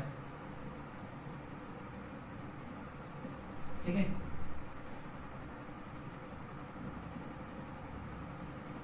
मतलब यहाँ से यहाँ तक लाए सरफेस से फिर सरफेस से यहाँ तक लाएँगे। To dot d r r से स्मॉल आर तक। इसको सॉल्व कर लेते हैं। ठीक है तो बाहर पर इलेक्ट्रिक फ़ील्ड क्या होता है? के बाई आर स्क्वायर होता है हमारा।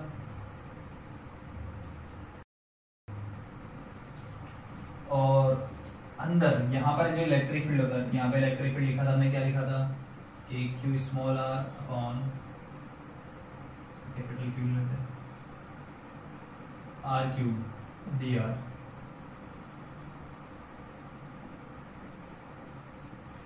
इसको सॉल्व करना है। ठीक? तो के क्यू के क्यू कॉन्स्टेंट बाहर लिख देंगे इसको।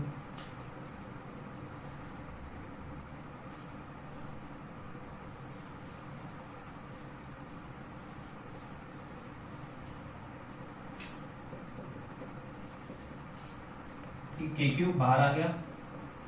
यहाँ one upon r square one upon r square का क्या हो जाएगा? Minus one by r infinity से आर, प्लस स्मॉल आर का क्या होगा? स्मॉल आर का हो जाएगा r square by two, r small r. Solve कर लो।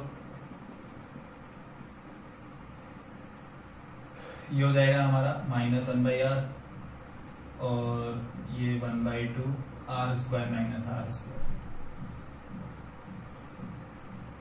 ऐसा लिख देंगे।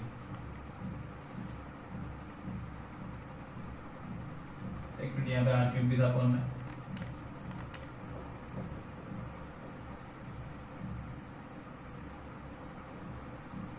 अच्छा आर क्यूब भी रहेगा। ठीक है? तो आर क्यूब को भी कॉमन ले लेंगे अगर हम। तो आर क्यूब को कॉमन लेंगे।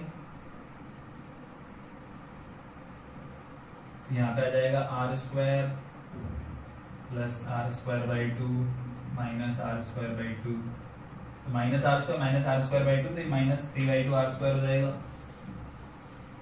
माइनस को अंदर पहुँचा देते हैं तो minus minus plus k cube on r cube three by two r square और ये minus r square by two two को भी बाहर रह लेते हैं। तो ये फाइनल फॉर्मूला ऐसा दिखेगा। ऊपर लिख देते हैं इसको।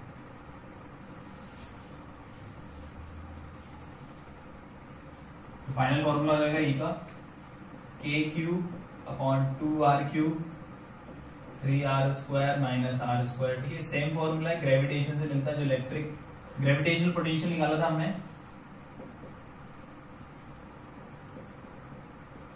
ठीक है बी आएगा। पोटेंशियल निकाला है। तो ग्रेविटेशनल पोटेंशियल निकाला था, वो आया था G M upon two R cube three R square minus R square यहाँ पे जीएम था बस, और इलेक्ट्रिक पोटेंशियल के क्यू बाकी सब सेम रहेगा। तो ये आ जाएगा हमारा इलेक्ट्रिक पोटेंशियल अंदर किसी भी पॉइंट पे निकालेंगे। मान लो सेंटर पे निकालना है। तो सेंटर पे निकालेंगे तो स्मॉल आर क्या पुट कर देंगे? ज़ीरो सेंटर पे आर ज़ीरो हो जाएगा।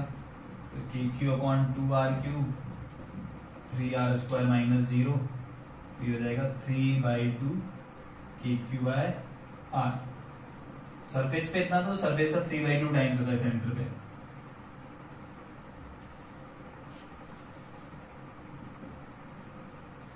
ठीक है तो ये आ जाएगा हमारा पोटेंशियल सेंटर पे तो ये यूनिफॉर्म है चार्ज स्फीयर की वजह से। ग्राफ भी बना सकते हो। ग्राफ कैसे बनेगा?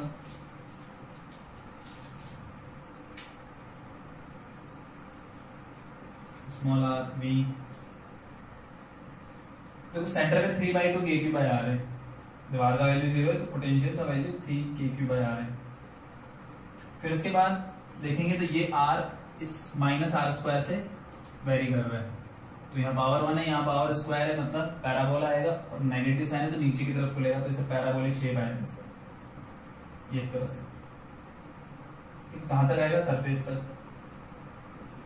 आर तक। और सरफेस के बाद फिर इनवर्सली प्रोपोर्शनल तो ये ऐसे जाएगा फिर। तो ये ऐसा ग्राफ आ जाएगा। Three by two K cube R यहाँ के क्यू बाय आर उसके बाद ये ऐसे। तो ये ग्राफ बन जाएगा। इसकी वजह से यूनिफॉर्मली चार्ज स्फीयर है मतलब पूरे वॉल्यूम में चार्ज है तो उसकी वजह से इस तरह से ग्राफ आ जाएगा। तो ये हो गया हमारा पोटेंशियल का फॉर्मूला अब देखो, जो कंडक्टिंग की बात करेंगे हम यहाँ पर ज़्यादातर तो कंडक्टिंग स्फीयर है तो कंडक्टिंग स्फीयर और जो पोटेंशियल अगर हम लिखें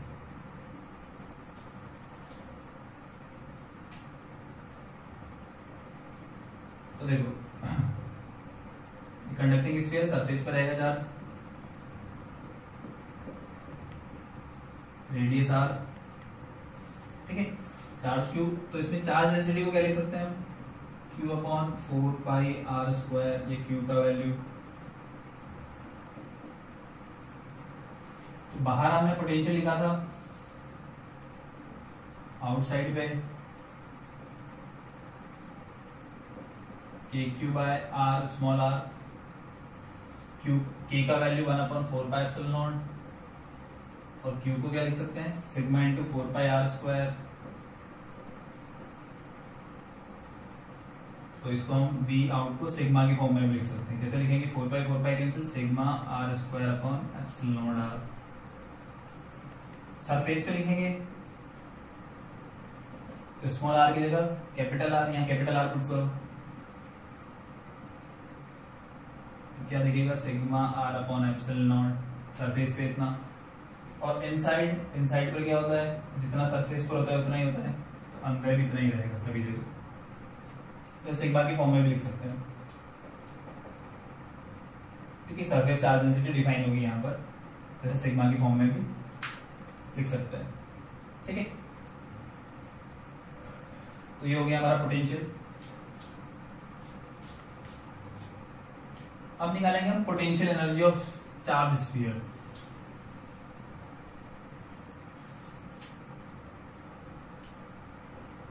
electrostatic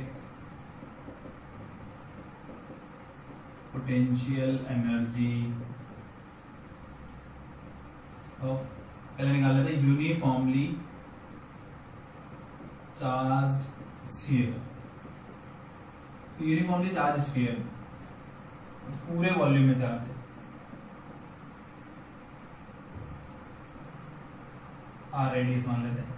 टोटल चार्ज क्यू मान लो है। चार्ज डेंसिटी को लिखेंगे चार्ज डेंसिटी हो जाएगी। चार्ज अपॉन वॉल्यूम थ्री को ऊपर ले आते हैं। ये चार्ज डेंसिटी रहेगी यूनिफॉर्मली चार्ज है। तो चार्ज डेंसिटी कांस्टेंट रहेगी। अब इसका हमें इलेक्ट्रोस्टैटिक पोटेंशियल एनर्जी बताना है। तो स्फीयर को मान सकते हैं कि बहुत सारे छोटे छोटे ये होलो स्फीयर से मिलकर बना हुआ है। एक, दो तीन, इस तरह से। एक स्फीयर हम लाते गए क्यू क्यू चार्ज डालते गए जैसे बनते गए अब मान लेते हैं यहाँ पर एक होलो स्फीयर मान लेते हैं। एक स्फीयर मान लेते हैं इसे। उसकी रेडियस मान लेते हैं एक्स इसके अंदर टोटल चार्ज कितना होगा? ये एक्स रेडियस के अंदर चार्ज तो charge on sphere of radius X उसको स्मॉल क्यू ले लेते हैं? तो चार्ज डेंसिटी इतनी है, ठीक है? तो इतने वॉल्यूम का चार्ज इतना वॉल्यूम मतलब four by three pi X cube इसका चार्ज हो जाएगा। इसको रो से मल्टीप्लाई कर देंगे और रो का value three Q upon four by R Q तो ये कैंसिल हो जाएगा three three four by four by तो क्यू का वैल्यू ऐसा दिखेगा। Q X Q upon R Q कितना चार्ज होगा स्फीयर के अंदर अंदर वाले के? अंदर वाले स्फीयर में इतना चार्ज है तो इसकी सरफेस पर, इस पॉइंट पर पोटेंशियल वी पी पॉइंट पर पोटेंशियल ऑन पॉइंट पी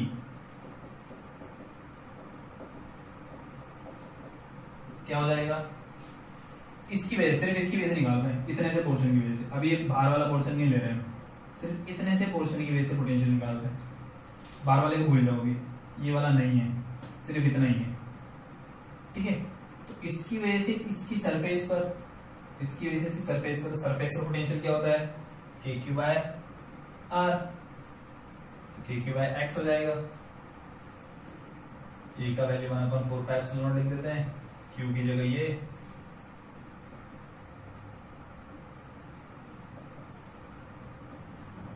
तो ये आ गया हमारा Q X square four by epsilon R Q अब ये पोटेंशियल किसकी, किस पर आया? इसकी वजह से।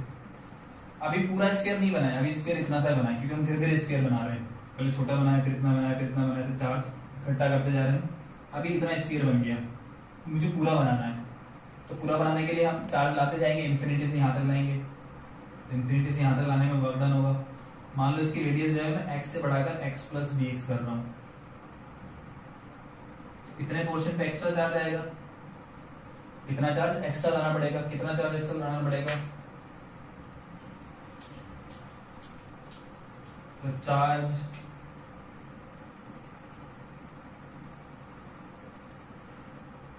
to make radius x x plus dx तो कितना रेडियस होता है। dx रेडियस एक्स्ट्रा चार्ज लाना है। तो कितना हो जाएगा? देखो, इसका वॉल्यूम dx रेडियस का वॉल्यूम ये dx थिकनेस का वॉल्यूम तो होता है four pi X square dx होता है। इसका चार्ज कितना होगा? इसको रो से मल्टीप्लाई करेंगे। रो का value three Q upon four pi R Q ठीक है तो four by four by cancel आ जाएगा three Q X square D X upon R Q इतना चार्ज हम यहाँ पे लाना पड़ेगा। कहाँ से लाएँगे? इंफिनिटी से। तो देखो पोटेंशियल एनर्जी ऐसे डिफाइन करते हैं। इंफिनिटी से इलेक्ट्रिक फ़ील्ड में चार्ज आ रहे हैं। ठीक है? तो उसमें जो वर्क डन होगा वर्क डन किसके इक्वल हो जाएगा? पोटेंशियल एनर्जी के। तो डी क्यू चार्ज को हम यहाँ पे लाएँगे। कितना पोटेंशियल डिफरेंस है? यहाँ पे पोटेंशियल इतना है और इंफिनिटी पे पोटेंशियल ज़ीरो देखो वर्क डन कितना हो जाएगा? वर्क डन निकाल लेते हैं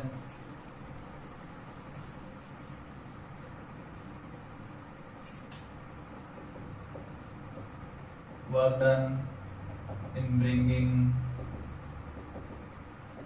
charge dq from infinity to point infinity से पॉइंट p तक लाने में work done. Dw equals to q into d, v into dq ऐसा लिख सकते हैं। ठीक है?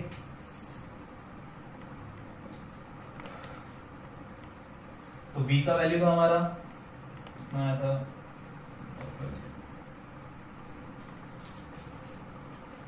क्यू भी आया था हमारा के क्यू बाय एक्स ए का value four five epsilon Q का वैल्यू था Q X cube upon R cube upon X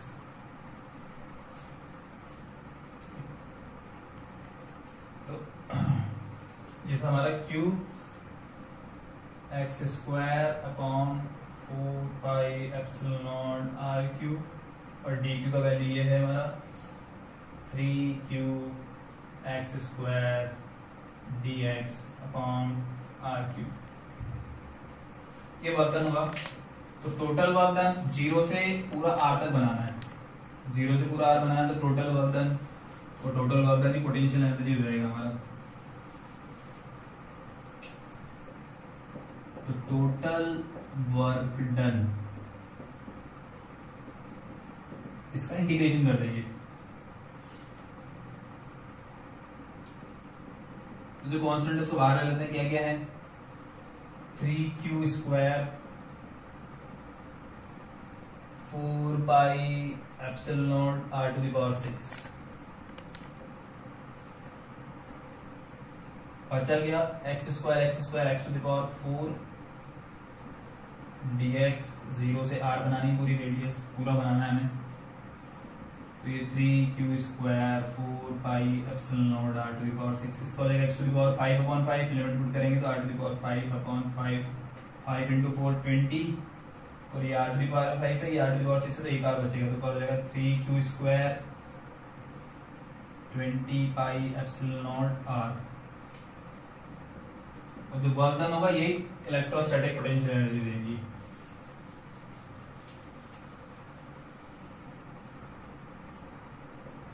potential energy आएगी u equals to three Q square upon twenty pi epsilon naught R क्या बचा होता है इसको इसे लिख सकते three by five K Q square by R K का value one upon four five epsilon naught तो ये यूनिफॉर्मली चार्ज का हो गया। ऐसे कंडक्टिंग का या होलो का निकालेंगे तो क्या आएगा? इलेक्ट्रोस्टैटिक पोटेंशियल एनर्जी उसमें सिर्फ़ सरफेस पर होगा चार्ज है ना?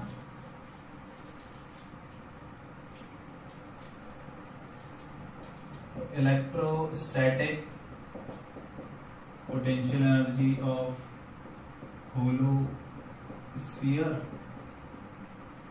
या फिर conducting sphere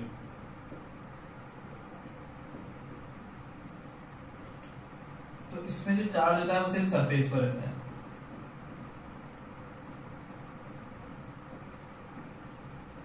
क्यों मान लेते हैं आर रेडियस तो सरफेस पर potential K Q by R ठीक है? अब इन्फिनिटी से डी क्यू चार्ज को यहाँ पर रख रहे हैं। पहले ये था, हम धीरे धीरे D Q D Q charge लाते जा रहे हैं। पहले डी क्यू लाए, फिर और डी क्यू लाए, फिर और डी क्यू लाए, ऐसे इकट्ठा करते जा रहे हैं और टोटल क्यू बनाना है हमें। ठीक है? तो डी क्यू चार्ज लाने में work done V into D Q total work done integration कर देंगे K Q by R D Q ठीक है के बाय आर कॉन्स्टेंट है बाहर आ जाएगा। क्यू का Q square by two limit zero से क्यू पुट कर देते हैं। तो क्या आ गया ये? Work done K Q square by two R और ये पोटेंशियल एनर्जी हो जाएगी। तो इसकी सिंपल है पोटेंशियल एनर्जी क्या आ जाएगी? K Q square by two R या एप्सिलॉन की फॉर्म में लिखना चाहो तो ऐसे Q square upon one upon four pi epsilon तो एट पाई एप्सिलॉन आर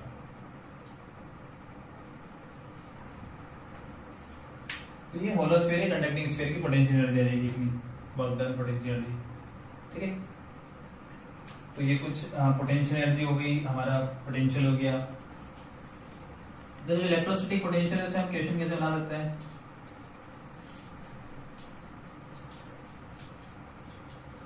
एक सिंपल सा क्वेश्चन जैसे मान लो। ये तीन कंसेंट्रिक स्फीयर दिए हुए हैं हमें ये मान लेते हैं कंसेंट्रिक स्फीयर है? इस पे चार्ज डेंसिटी सिग्मा है, इस पर माइनस सिग्मा है और इस पर प्लस सिग्मा तो दो पे प्लस है और ये स्फीयर ए है, ये बी है, ये सी है। इसकी रेडियस स्मॉल है, इसकी रेडियस स्मॉल बी और इस वाले की रेडियस स्मॉल सी तो ये ए बी सी की रेडियस हो गई। Charge density sigma minus sigma sigma हो गया। तुमसे पूछा क्वेश्चन में ए का वैल्यू कितना होगा? बी का वैल्यू कितना होगा? सी का वैल्यू कितना होगा? मतलब ए पर पोटेंशियल कितना होगा? बी पर पोटेंशियल कितना होगा? सी पर पोटेंशियल कितना होगा? उसको हम पोटेंशियल उसको फाइंड कर सकते हैं।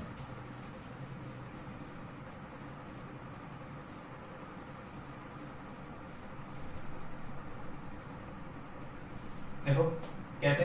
ए पर निकालना है मुझे पोटेंशियल ए पर पोटेंशियल एक तो खुद की वजह से होगा, एक बी की वजह से भी होगा और एक सी की वजह से भी होगा, तीनों की वजह से होगा। इसकी सरफेस पे कितना है? सिग्मा है रेडियस ए है।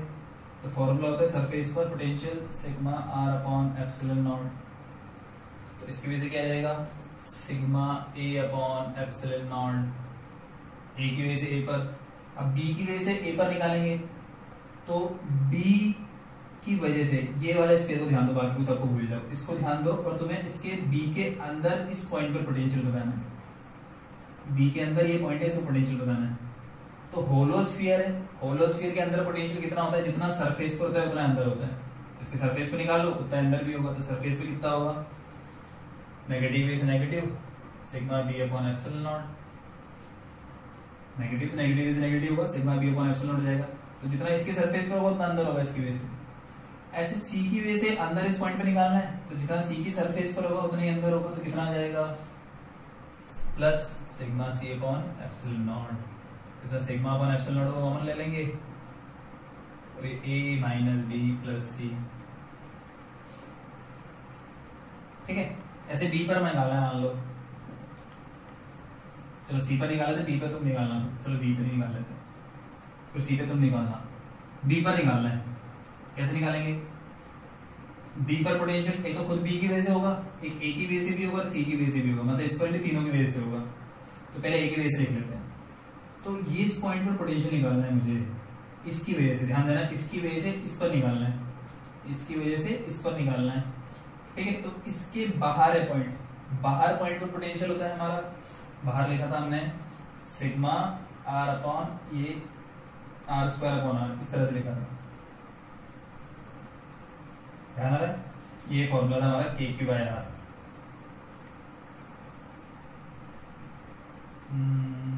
हाँ ये था फॉर्मूला के को लिखा था हमने one upon four pi epsilon naught इसको लिखा था sigma into four pi R square upon R ऐसा मैंने गलत लिख दिया पहले तो ये आएगा sigma R square upon epsilon naught R तो बाहर के सेगमेंट पे इतना होता है। आर का वैल्यू इसकी रेडियस होता है ए तो ये आएगा sigma A square upon epsilon naught और कितने डिस्टेंस पर ये पॉइंट बी डिस्टेंस पर है बी डिस्टेंस पर है तो ये एप्सिलॉन नॉट बी आ जाएगा। ये फॉर्मूला है हमारा, बाहर किसी पॉइंट पर। आर इसकी रेडियस और स्मॉल आर इसके सेंटर से कितना डिस्टेंस है बी डिस्टेंस पे हो जाएगा। अब बी की वजह से इस पे निकालेंगे तो जितना सरफेस पर होगा उतना आ जाएगा। और सी की वजह निकालेंगे इस पॉइंट पर तो अंदर जितना सरफेस पर होगा उतना तो ये sigma C upon epsilon naught इसमें फिर sigma upon epsilon naught common आ जाएगा। A square by B minus B plus C ठीक है? ऐसे तुम्हें सी पर निकालना है सी पर कितना आएगा तो सी पर भी तीनों की वजह से ए की वजह से भी होगा बी की वजह से भी होगा, और सी की वजह से खुद से होगा। एक तो ये फाइंड करना है, और एक करना है कंडीशन दी हुई है if A plus B equals to C a plus b equals to c, then find relation between VA, VB and VC इनमें रिलेशन बताना है। देखो VA की वैल्यू निकाल ली हमने की वैल्यू निकालनी तुम्हें क्या करना है? VC और निकालना है। VC की वैल्यू निकालनी है। फिर कंडीशन दी हुई है ए प्लस बी सी के इक्वल है। इसकी रेडियस प्लस इसकी रेडियस सी के इक्वल है। तो वी ए बी बी और बी सी में क्या रिलेशन होगा? ये तुम्हें बताना है। ठीक है? और इसका आंसर जो है, वो तुम्हें कमेंट सेक्शन में बताना है कि इनमें रिलेशन क्या आएगा। और बीसी की वैल्यू भी बतानी क्या आएगी। ठीक? इस टाइप के क्वेश्चन कर सकते हैं। तो आज इतना ही पढ़ेंगे हम। ये पोटेंशियल के फॉर्मूला इलेक्ट्रोस्टैटिक पोटेंशियल निकाली हमने डेरिवेशन करके, और कुछ क्वेश्चंस इस टाइप के। तो इन क्वेश्चंस को तुम कर सकते हो सॉल्व पोटेंशियल वाले फॉर्मूलाज को भी कर सकते हो। ठीक? इसके आगे जो हम नेक्स्ट क्लास में पढ़ेंगे नेक्स्ट लेक्चर में। तो आज के लिए इतना ही ओके थैंक यू